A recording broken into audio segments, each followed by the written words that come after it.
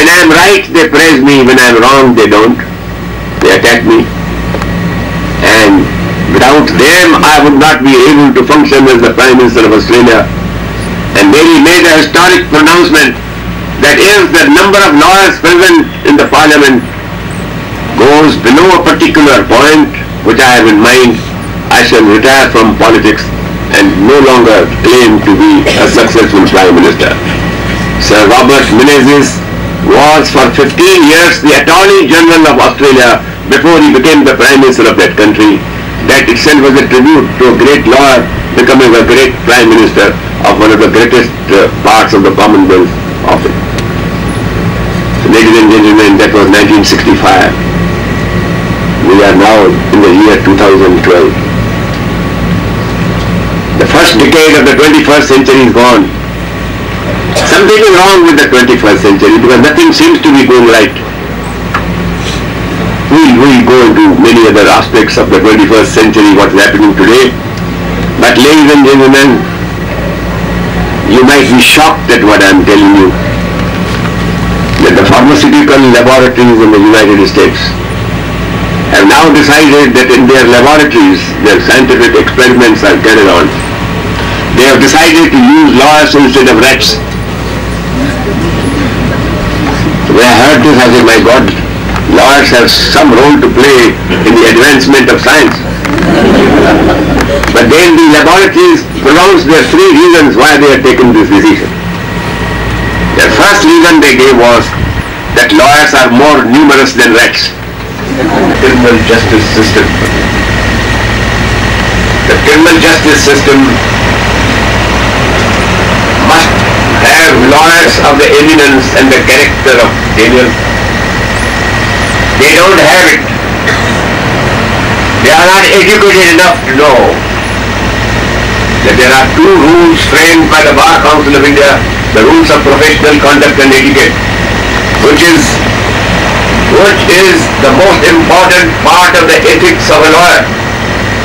And I am proud of the fact that these rules of professional conduct and etiquette were promulgated when I was the chairman of the Bar Council of India.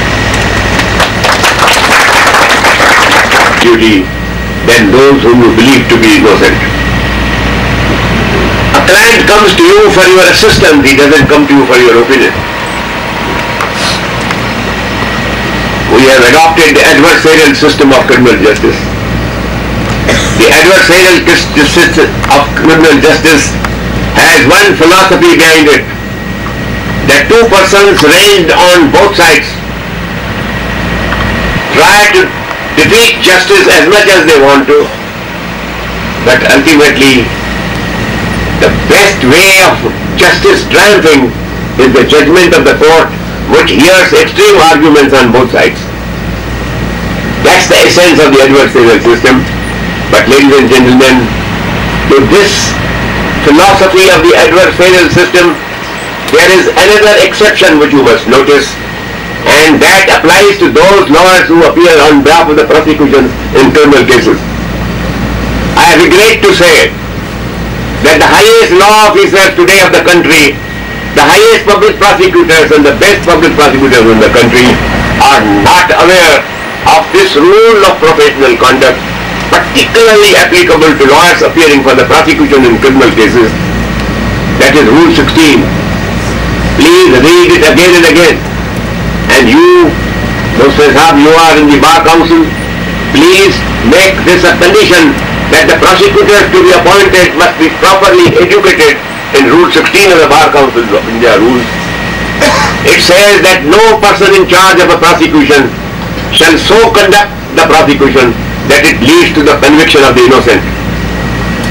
And ladies and gentlemen, one another part of this same article is that the secreting or the withholding of material which might be of help to an accused person in establishing his innocence is hereby prohibited. Ladies and gentlemen, in India, the right of a fair trial is deduced from Article 21 of the Constitution. The right of an accused to a fair trial is a constitutional right. It is not a right conferred by the Criminal Procedure Code. England has no constitution. They have some kind of a constitution now. England became a party to the Treaty of Rome, which created the European Union. The European Union's convention, which created the European Union, has that every citizen of every part of the Union shall be entitled to a fair trial. And ladies and gentlemen, from the provision of this convention to which England is a party, the right of a fair trial, they have deduced the right of disclosure. The Attorney General of India, of, of, of England, has now appointed disclosure officers whose duty is to, to study the brief in every criminal case and find out what will help the accused to establish his innocence. It is the duty of that discovery officer to communicate to the lawyers of the defense that we have got this material in our files and if you want to avail of it, here it is. We are going to disclose it to you. The Attorney General's rules of disclosure are to be found in any book on criminal law today from here, from England, particularly Blackstone's book and Archbold's on criminal practice with the classical textbooks. Read those books. What are the cases in which an accused is constitutionally entitled to a disclosure of the material in his favor? Any witness whom the police interrogated and who said that the accused is not the guilty one, you must disclose those names. How does a poor accused know that when they went to investigate on the scene of offense, ten witnesses told them that Mr. A is guilty and not B? He would not know. He has no access to the files of the prosecution, to the case diaries that you call them in the Criminal Procedure Code section 172. But if there are witnesses who have told the police in the first instance that this man is not the man, it was somebody else, it is your duty first to disclose it to the attorneys and the solicitors of the accused person in the trial. But I, I must give you, ladies and gentlemen, an example which arises from Maharashtra. There used to be a leader, a Congress leader from Sindh. His name was Bhai Pratap. He was the founder, he wanted to create a new state of Sindh, you know, for Sindhis, uh, in somewhere in the northern Gujarat, in the, in the region of Kutch. He was a great man, but he was also a businessman, and he was prosecuted for having sold away imported goods which were imported on the condition that they will be used for a particular purpose. But he did not use them for that particular purpose, it was a serious offense in those days.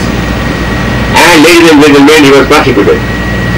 Prosecuted and convicted by the Sessions Court of Bombay and sentenced to 18 months rigorous imprisonment. He appealed to the High Court and the Crown, the state appealed against the sentence. His appeal was dismissed and the sentence was raised from 18 months to 5 years. His appeal was dismissed by the Supreme Court. He applied for mercy to the government. Vijayalakshmi Pandit at that time was, a, I think, the governor of Maharashtra at that time. But ladies and gentlemen, this Bhai Pratap happened to be a person of some influence in Maharashtrian society. His daughter was married to one of the Achyut Patwardhan boys, Manu Patwardhan. You, you must have heard that family. And when that application for mercy and pardon went to the High Court, to the, to the government, there were two Parsi secretaries in the ministry, Paymaster and, and Dalal. They examined the file. In the case of a poorer man, nobody would examine the file, but they did it in this case.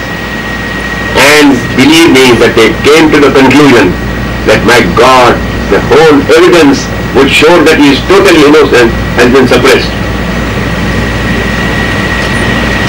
But they were Parsis and they were dealing with ultimately a Sindhi. They called me. They said, we are convinced that he is innocent. We want to pardon him, but we want some favor from you. I said, what favor do you want from me? They said, you know that Commander Nanavati has been convicted for having killed Prem Ahuja. And we want to pardon him. You get us the consent of the Sindhi community that they will have no objection to his being pardoned. So I called the sister of, of Prem Ahuja and said, now listen, uh, whatever might have happened, there is no doubt that Prem was carrying on with his life. So the poor fellow may not have a grave and sudden provocation, but he knew it for a long time. So therefore he is rightly convicted. But there is something to be said in his favor. And now that he has suffered for five, six years, if you say that the Sindhis will have no objection, so I got a consent letter from her and that letter. And Bhai Pratap and Commander Nanavati were pardoned on the same day by the same governor. But there he was pardoned because of the sympathy of, particularly of the young ladies in India. Uh, there used to be everyday demonstrations at Flora Fountain and women used to write down those uh, couplets in favor with their lipsticks. All that happened in those days. So ladies and gentlemen, this tells you the value of the duty of disclosure in a criminal case, which is a duty now made a statutory duty under the Bar Council rules, but few prosecutors are prepared to perform the logical process. Now ladies and gentlemen, go a little further.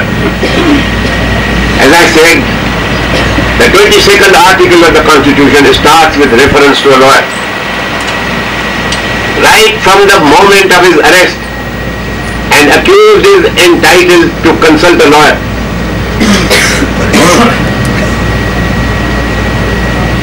How many lawyers are available for this purpose? Senior lawyers don't do it. They are too busy making money, particularly on the miscellaneous day. You should see in the Supreme Court what happens. And ladies and gentlemen, I must digress for a moment. You said all the good things about me, but you didn't say the only thing which I, which I am more proud of than all the things that you said. I am proud of the fact that I have finished 70 years of legal practice, but I have finished 71 years of teaching law.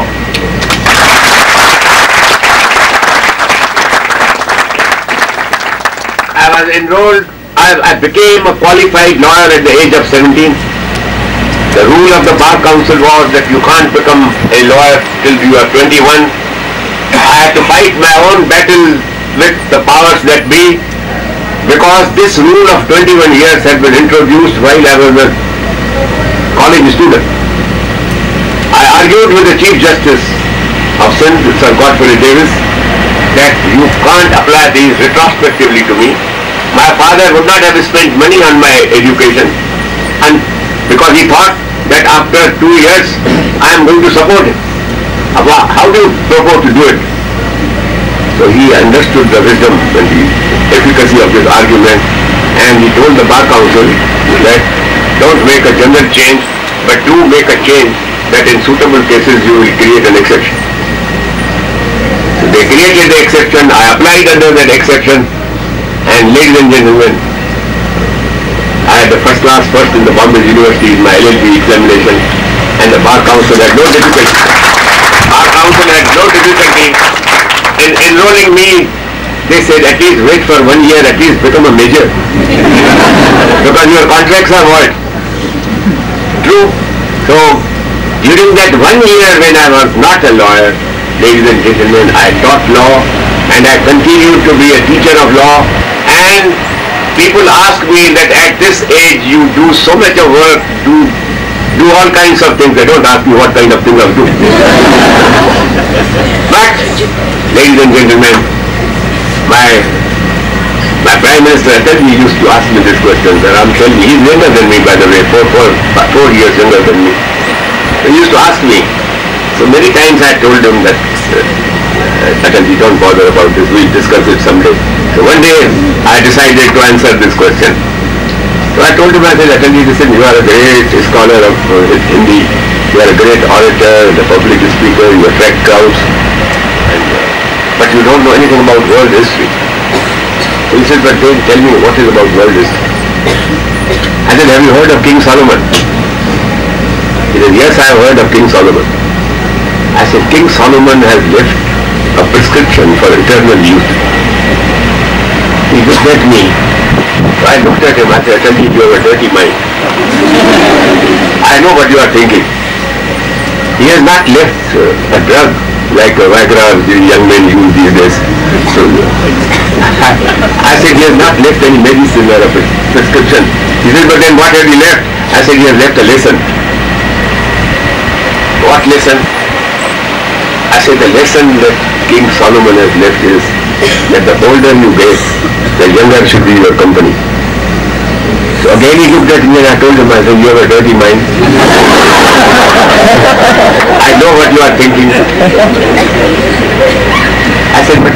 I I follow the teaching of King Solomon rigorously, religiously.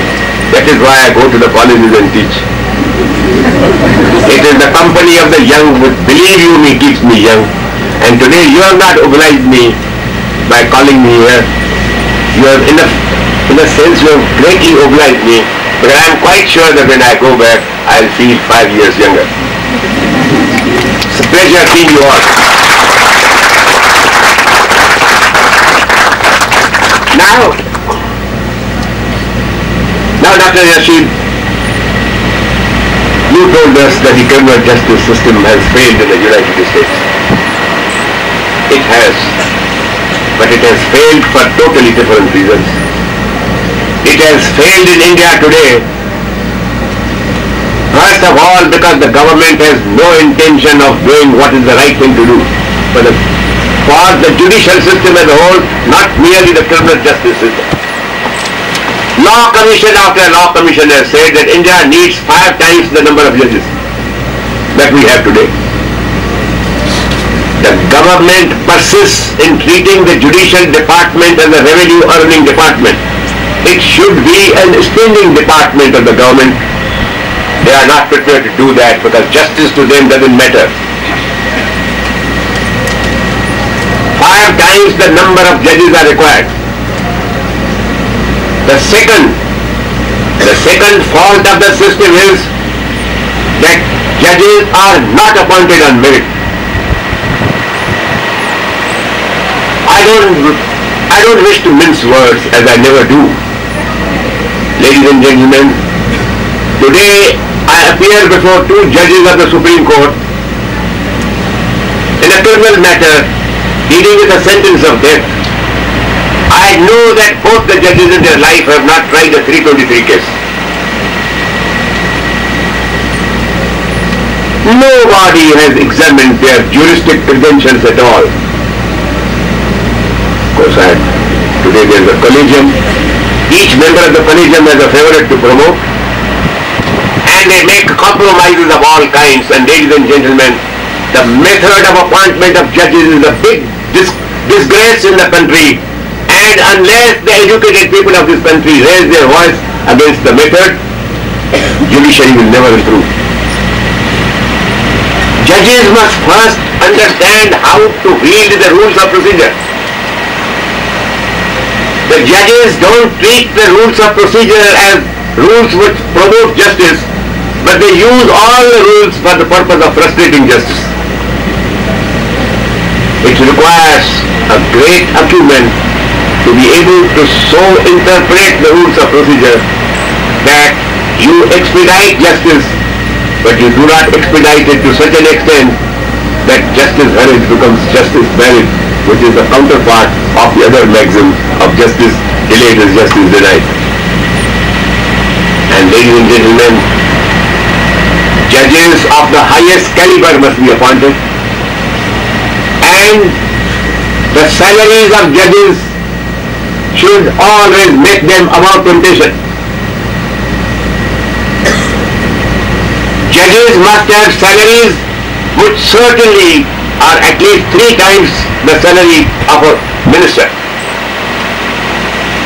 Then the bar is open to you. If you want to have unlimited amount of money making, come to the bar. But ladies and gentlemen, again the lawyer in this country is spoiled by the pursuit of money. The great lesson, the great lesson of Daniel has forgotten. Law has not continued to remain a profession but it has become a business. And money making has become the dominant object. And ladies and gentlemen, do make money at the bar. I started life in a refugee camp in India with a 10 rupee note in my pocket. I have made tons of money, but I have made tons of money from 10% of my clients. My 90% of my practice is today free. Ladies and gentlemen, this is what the profession requires. That you must have lawyers who are committed to serving humanity ultimately. And ladies and gentlemen, when you talk of human rights, as I said, the 22nd article is the greatest tribute to the profession of law. From the moment of arrest, through the investigation, through other areas in which a person's liberty is at stake, a lawyer is a prime necessity.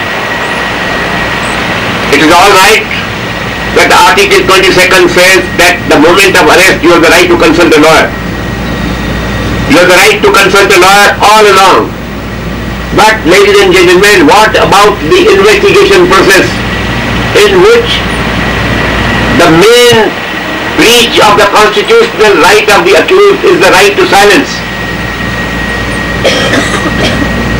Article 20 of the Constitution of India says that no person shall be compelled to become a witness against himself. How many bail applications must you have argued? What does the prosecutor come and say? Sir, he is not cooperating with the police. What is the meaning of cooperating that he should plead guilty? You believe him to be guilty and if the legal system was that he is presumed to be guilty, then you have the right to treat him as a convict. As it is, being locked up in the cell of a police station is the greatest punishment. If you are locked up in a jail, the best of jails, ladies and gentlemen, if you are used to a slight ascetic existence that you require at least a clean toilet, you will you will plead guilty to anything just to get out of that condition of living. That is what Krishna, Krishna Iyer J in his famous Babu judgment on bail said that our jail system is itself a great punishment and a person is entitled to be released on bail. It, bail is a constitutional right of the accused under Article 21 unless he has forfeited that right by tampering with evidence, suborning evidence or absconding from justice. Bail is the rule, denial the exception, says Krishna Iyer. And the judges of the Supreme Court had forgotten this law of 77 and ultimately I had to resurrect that law again in Chandra's case now that the whole law has been reaffirmed today and the bail law has been reduced to its pristine glory. That is the greatest right of an accused the constitutional right of the accused to be at liberty to defend himself, to look after his family, to look after his business. Because if you deny him all this, you are already convicting him and punishing him as if he is a convict. You have to deny that unless that denial will frustrate, will frustrate justice itself. That's the principle of law. And ladies and gentlemen, as I said, after 6 o'clock, 7 o'clock, hardly any lawyer will be prepared to go and sit at the police station to defend his client. By judicial decision, it is not in the articles of the constitution. By judicial decision of the Supreme Court, a decision to which I am a party, Nandini Satpathy's case, we got the Supreme Court to hold that while you are being interrogated in police custody, the lawyer has the right to be present. He has the right to be present within sight, but not within hearing. He should know that he is not being abused. He should know that he is not being threatened, that he is state, in a state of happiness and normal conditions of existence, and it is in that footing that he is being interrogated. Now this right has been created by constitutional interpretation of Article 21. It is neither provided in the Criminal Procedure Code nor expressly in the Constitution of India. Then comes another kind of a stage. You know of the famous, notorious preventive detention laws. They are a disgrace to democracy in which on the subjective satisfaction doubt of a bureaucrat sitting in the in the, in the secretariat, a person's liberty can be taken away. And ladies and gentlemen, I must recount to you that when the emergency of India took place, the emergency itself was bogus. I was the chairman of the Bar Council of India at that time, Bar Council of India at that time, and there was a convocation, an annual gathering of the Bar of Kerala somewhere down south in the city of Palghat. And as a chairman of the Bar Council of India, I went there. Ladies and gentlemen, district judges, collectors, police officers of all kinds, and some very, uh, some very prestigious lawyers were sitting with me on the stage like this. When I spoke attacking the emergency, and I said that this emergency is a big fraud on Indian democracy, and slowly the lawyer sitting with me on the stage started leaving one by one. they are now the leading lawyers of the Supreme Court. I don't wish to name them. But ladies and gentlemen, on that day, they made a report. I left Bangladesh. I went to Bombay. From Bombay, I went to Madras. I had to argue some appeal in the Madras High Court on that day. And the Commissioner of Police in Bombay telephoned to my wife he said, um, there's a warrant out for your arrest of your husband and uh, we want to, and where is he? He told us, my wife told us, he's gone to Madras. He telephoned to me and I said, tell the commissioner that as soon as I finish my appeal, I won't run away, I'm coming back to Bombay. You can arrest me by all means. But I have not been a criminal lawyer in vain. The commissioner of police was a friend. he, he told that counterpart from Bangalore, from Kerala, that listen, who the hell are you, I don't know. You bring the warrant here and then I will execute it on your telephone message, I'm going to do nothing of the kind. That's how we had delayed it. And ladies and gentlemen, by the time I finished my appeal in Madras and got back to Bombay, 300 lawyers, brave lawyers of Bombay had appeared in the High Court of Bombay led by Mr. Palkhivala and Soli Sorabjee and they had obtained an injunction restraining them from executing their warrant.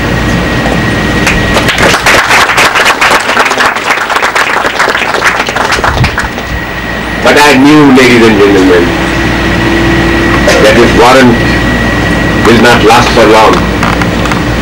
I must make the best of it. And I went round the whole country attacking the emergency and the fraudulent nature of the emergency. Fortunately, they did not have the courage to arrest me, though they could have, in spite of the stay of the High Court. Ladies and gentlemen, be it said to the credit of the judges of this country that nine High Courts delivered judgments in which they said that the judges are not powerless today, even in an emergency, to defend human liberty and we shall continue to defend human liberty. And ladies and gentlemen, the view of the nine high courts was a thorn in the flesh of the rulers. They appealed to the Supreme Court. And I regret to say that the appeal came to be heard by five judges, two of them were judges drawn from Maharashtra. my, my dear friend Chandrachud and Mr. Justice Bhagwati, two of them were from this state. And ladies and gentlemen, I appeared before the Supreme Court. And I told the judges when I got up to address them, I said, my lords, I am not appearing merely for the man who has briefed me in this case. He is only one person. But I am appearing for the thousands and thousands of people who are rotting in the jails of India without having been guilty of any fault except that they have supported democracy and freedom. I said even that may not impress your lordships. Now let me tell you something more. I said I am appearing for all five of you. My God, the Chief Justice almost fell out of his table. he said, Mr. Jethmalani, did you say this? I said, yes, my Lord, I not only said it, but I am repeating it. And now the, what I am going to do for the next five minutes is addressing you only and not your brother judges. I said, have you heard of the country called Ghana? Ghana had a chief justice who helped the government of Ghana to draft the preventive detention law. And when that law came into force, the chief justice was the first to be picked up under that law. For two years, nobody heard of what happened to the Chief Justice. And my lords, after two years, a cryptic announcement appeared in the press that the Chief Justice died of natural causes. That's the fate which awaits all five of you, and I have come to rescue you from that fate, and please hear it properly. Of course, after that, they heard me fully, and, and ladies and gentlemen, I wound up my address telling them that my lords, Indian democracy is not completely dead, but it is in the coffin. The government wants to shut the lid of that coffin. Even they are ashamed of doing that dirty job themselves. They want you to do that dirty job for them. Question before you is not who is right or who is wrong. We are we are right because we are on the side of democracy and freedom. The question is, are you willing to oblige the government by doing that dirty job for them? So ladies and gentlemen, I regret to say that both Chandrachud and Bhagwati let down Indian democracy. And there was only one judge who stood up, the Justice Khanna, for whom the whole nation has to be grateful because the New York Times wrote an editorial that a grateful Indian nation should build a monument to the memory of that great judge because he stood up against the poor. And so, ladies and gentlemen, criminal justice system is spoiled by bad character of judges, bad choice of judges. Didn't the Chief Justice Bharucha make a statement while he was the Chief Justice of India that 20% of judges in the higher judiciary are corrupt? What has the bar done? I want to know. What has the what has the profession done? What has the universities done? What have the politicians done? I wish to make it clear to you, ladies and gentlemen, that no government wants honest judges. Whichever government comes into power, they want corrupt judges because they are all the time trying to do corrupt things. Today, the lawyer might be worse than a rat, but the politicians are worse than the lawyers. The most hated, the most hated part of the Indian community is the politician of India today. Let me tell you something about the politicians. the latest joke about politicians is that if one politician were to fall into a river and drown, it is a case of pollution. but if all the politicians of the country fall into the river and drown, that is the solution.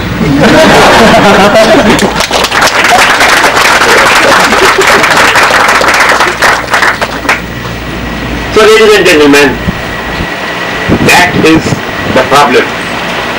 The problem is that politicians want bad judges to be sitting on the bench and unfortunately there are judges who are willing to oblige the government at all times. I don't wish to cite illustrations because uh, I commit contempt, but I commit it in a subtle way. And uh, and my physiognomy and my temper are by themselves a contempt of court. And and gentlemen, now kindly see one. In the preventive detention laws, there used to be a provision that after the detention order is served and the grounds are served on an accused, if he makes any representation, the matter must go to the advisory board. Now what happens before an advisory board? There was no provision that a lawyer can defend an accused person before the advisory board. I had a strong argument before the Supreme Court and I partially won that right by interpretation. I said, I said, please tell me, if a person is dumb, how does he defend himself before the advisory board? He must have a mouthpiece and the only mouthpiece can be the lawyer. Ladies and gentlemen, by judicial decision, I got the right of the accused in the criminal justice system to have a lawyer present in the advisory board. Compulsory if the other side, if the department is represented by a lawyer, the, the detainee must have a lawyer by, as of right. But in other cases where the advisory board is satisfied that a person can't defend himself at all without the presence of a lawyer, he is entitled to have a lawyer, otherwise the order will be struck down. That is the essential requirement of law today under judicial made decisions and that underscores, ladies and gentlemen, the, the question of now let me come to broader broader considerations. Ladies and gentlemen, I believe that the highest human right, apart from those enumerated human rights of a lesser character, the highest human right of every citizen of India is to have fair distribution of wealth and as a condition of existence which can be called at least decent and honorable. Does that exist? Go to the slums. Go to the poor man's cottages. Three million children every night go to bed without a morsel of food in their stomach. They are only living upon the lining of their own stomachs. See, see the nutrition of our children. Ill-nourished children, not provided sufficient sustenance. All of them born underweight. And if they are born underweight, be sure that some of them are also born underintelligent. You are depriving them of the enjoyment of life. That is the greatest right in a democracy, ladies and gentlemen. And this right is taken away by whom? It is taken away by corrupt politicians. Fifteen hundred billion dollars of money are stolen from this poor nation. Fifteen hundred billion dollars Convert it into Indian rupees and your head will start rolling. If that amount were brought back to India, every Indian family will have at least 3 lakhs. Poverty will stand removed overnight. For 30 years you don't need a tax at all if you have a tax-free budget. India's national debt will stand wiped out. Ladies and gentlemen, I regret to say that the people of this country and the politicians of this country are not worried about this major crime against the poor people of India. It's the crime against the nation. I went to the Supreme Court of India, gave up my practice as a lawyer, I went there as a petitioner before the Supreme Court two honest judges of the Supreme Court heard that petition. How many of you know about it? Ladies and gentlemen, The hearing went on from 2009 to 2011. In 2011, July, the judgment of the Supreme Court was delivered. Credit to the Supreme Court of India, those two judges. They held three things. That we have not found a satisfactory explanation at all why there has been no effort at all to get back this money. There should have been revolution in this country. People should have at their streets, particularly the intelligentsia. Those who are very vociferous in their speech making, those who are eloquent in their expression. Ladies and gentlemen, there's a famous Urdu proverb, सितम के दौर में वो अहले दिल ही काम आए जबान पे नाज था जिनको वो बेजबान निकले Those who are proud of their eloquence have turned out to be tongue-tied that you should spit at every minister. They are refusing to bring back the money and they are all the time taking, telling you about that we are now we are now trying to create new states for the purpose of restoring India's economy. The economy has gone down to those levels at which it stood in the demolished Europe and America in the year 2008. 10%, 12% growth has dwindled to 5% growth. The only province, only state of India which is an exception is Narendra Modi's. Narendra Modi's state is showing 12%. Yet he has to be demolished. Why? Because they say he is communal. Those who say that he is communal are communal themselves. Ladies and gentlemen, takes me to one great right, and that one great right which I wish to talk about. We are proud of the fact that we have created a secular society, a secular constitution of India.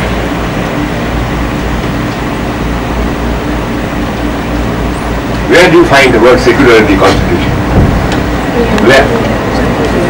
Secular in the preamble, but the purpose of telling people that secularism is the product of the emergency, which was another fraud. Nobody protested against. Now, ladies and gentlemen, I want all young people to learn what secularism means under the Indian constitution. And that's the last thing which I wish to talk about today, because that's one of the objects of India, of objects which I have to serve. Wherever I go, I tell them that no politician in this country knows even the ace of the word secularism. Secular India is created by Article 25 of the Constitution. Read Article 25. And those professors who are teaching the Constitution in this country must concentrate on this great article. Ladies and gentlemen, the part of Article 25 which is important is that every person has the right profess and practice his religion. Good. Nobody, nobody has any objection. This was the article as it existed in the draft constitution of India when it came for discussion in the Constituent Assembly of India. It is the minorities, the Muslims and the Christians who said that we want one more right. What? What more do you want? They said we want not only the right to profess and practice, we also want the right to propagate our religion. Nehru and Ambedkar accepted this challenge, Sardar Patel accepted this challenge. He warned them that you are asking for something which is terrible. Don't ask for it. It will create lot of problems. They said no, we want it. But the word propagate was added. Ladies and gentlemen, when you have the right to propagate your religion, what does it mean? It means that religion will hereafter compete in the free idea, the free market of ideas and debate. If you are entitled to propagate your religion, you are entitled to say that my religion is superior to yours. Otherwise, what's the meaning of propagating religion? Ladies and gentlemen, Now we have the right to propagate religion. But this requires an atmosphere which used to prevail only in the court of Emperor Akbar, which has never prevailed any time in Indian history. Emperor Akbar used to collect the leaders of all faiths. They used to sit and discuss every, every, every practice, every belief of every religion. Whether it was Islam, Christianity, Hinduism, of all kinds. Nobody plunged a knife into somebody's neck. It was done in harsh language, but never in harsh action. Ladies and gentlemen, the right to propagate is a right the implications of which must now be understood. All these three rights are subject to the opening words of Article 25.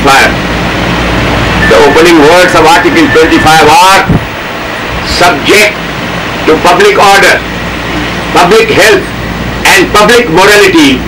These rights will prevail. Ladies and gentlemen, the corollary of this theorem is that the Republic has its own religion. The Republic has a religion, the elements of which are public order, morality and health. All denominational religions are subject to this superior religion of the Republic. Now when a conflict arises, when a conflict arises, say I am taking the take, taking the example of the Hindu faith. Supposing you want to say that a particular doctrine of the Holy Gita is contrary to public morals. You can't cite Gita to support it. There must be some other criterion of judgment by which you can pronounce upon this conflict of interest and conflict of, uh, of theory. Who will resolve it? Ladies and gentlemen, the only answer which the politicians are not prepared to give is that this conflict will have to be resolved by this small mammalian equipment called the human brain. It is the brain which will decide by argument of logic and reason. Thus, the essence of Indian secularism is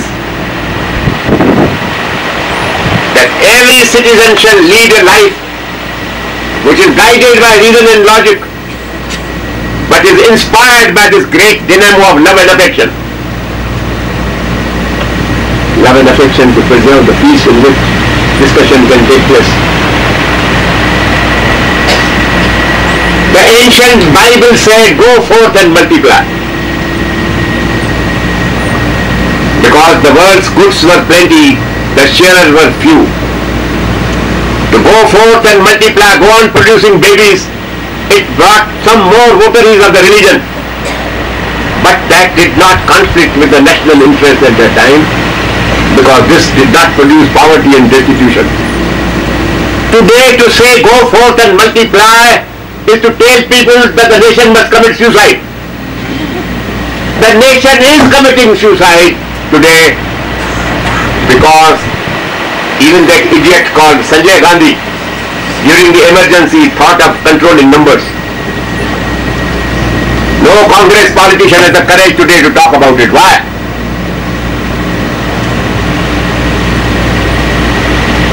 Vote bank politics. Do you know the other day, the Shahi Imam of the Juma Masjid made a public statement that I have asked my followers not to join Anna is fight against corruption. What? Either you like corruption or you have some better reason. Obviously he likes corruption too. But ladies and gentlemen, what is the reason that he gave? The reason that he gave was that when these followers of mine go there, they sing Vande Mataram.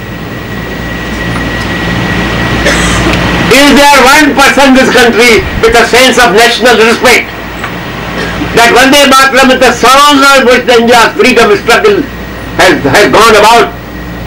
It has inspired thousands and thousands of martyrs in this country.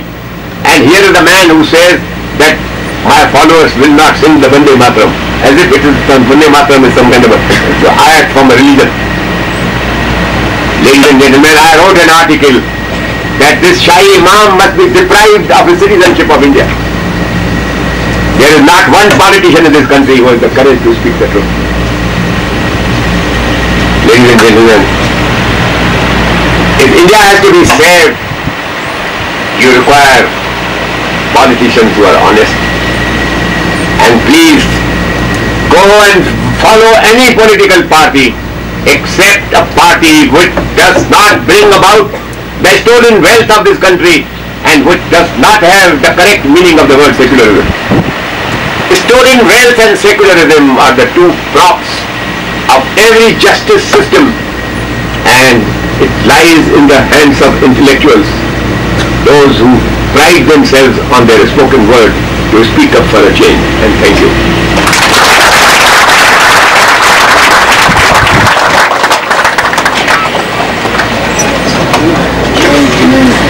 That was indeed thought-provoking.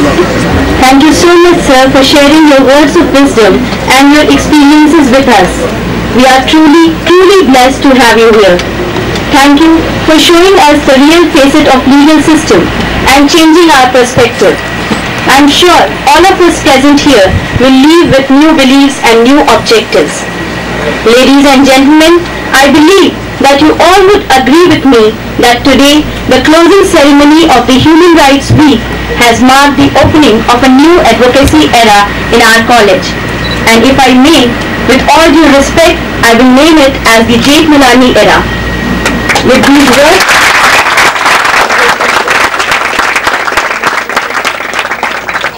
With these words, I would like to request Dr. Vikas Bhatnagar sir to deliver the vote of thanks.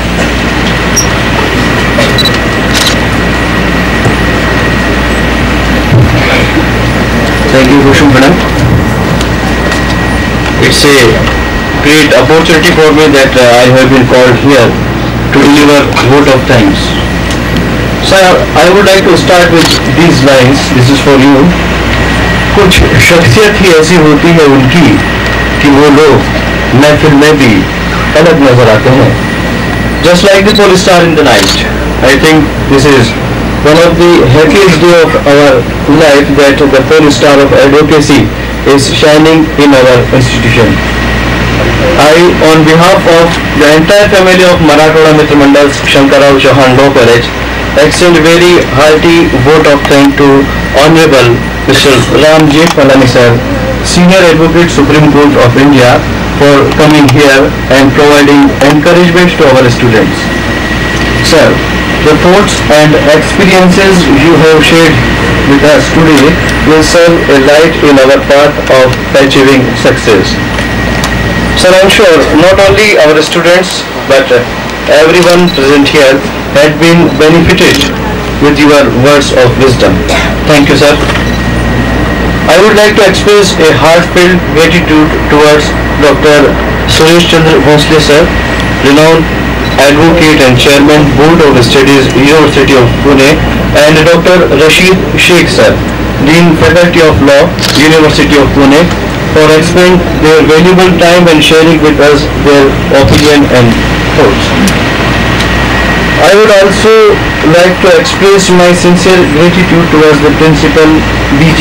Jadhav sir, secretary Marathwada Mitra Mandal and other members of management for their guidance and support and encouragement to organize this event.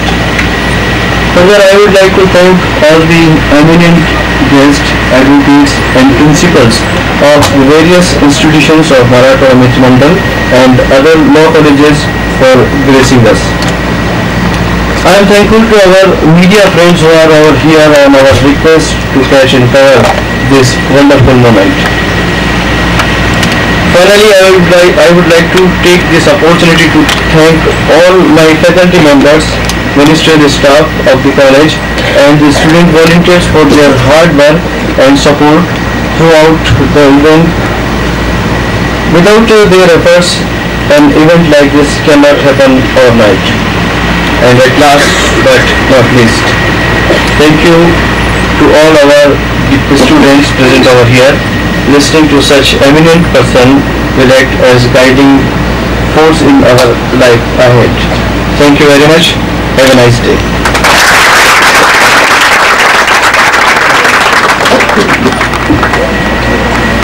Thank you, sir.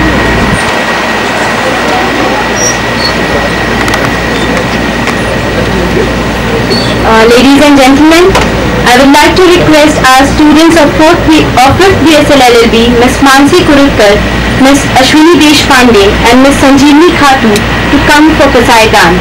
I would like to request all to please stand for it.